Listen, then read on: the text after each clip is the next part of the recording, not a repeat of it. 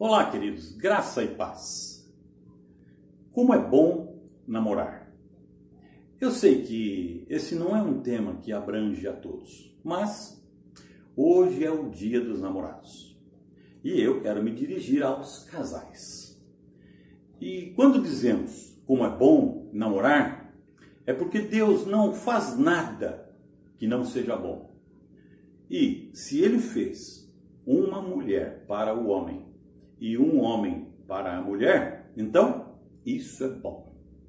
A Bíblia não é muito específica sobre o namoro, mas é muito clara a respeito do noivado e mais ainda a respeito do casamento. E a tônica do ensino bíblico é que ambos são beneficiados com o relacionamento de homem e mulher. Mas, claro, antes disso, que o nome do Senhor seja glorificado nesta relação. A Bíblia nos dá o tom da relação de homem e mulher. E o tom é o amor. Tanto namorados como noivos e os casados devem cultivar o amor. E a regra do amor está em 1 Coríntios, capítulo 13. Nós vamos ler dos versículos 4 até o comecinho do versículo 8. Diz assim: O amor é paciente, é benigno.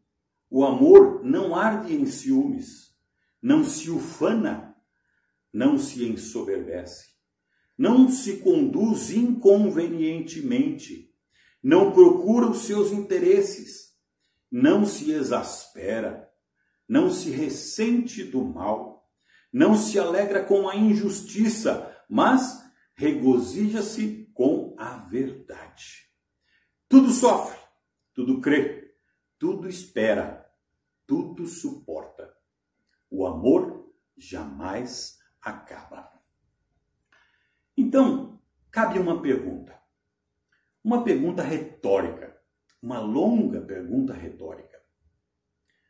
Quanto eu sou paciente com a minha amada ou com o meu amado? Quanto eu tenho sido bondoso?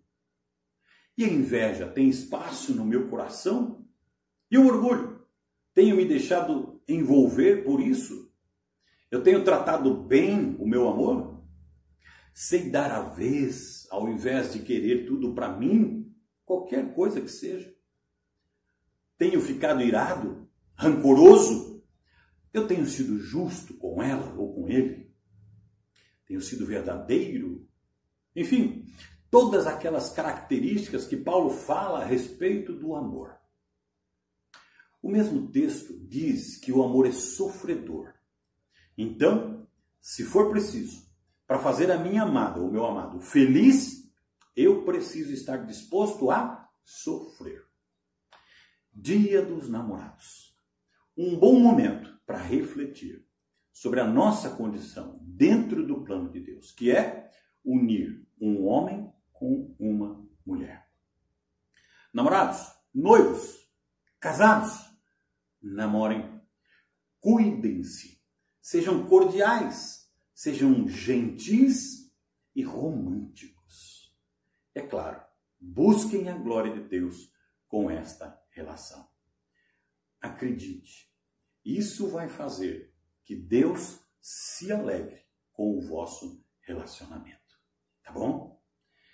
E não se esqueçam, tem jantar romântico hoje. Feliz Dia dos Namorados. Bom apetite. Que Deus te abençoe.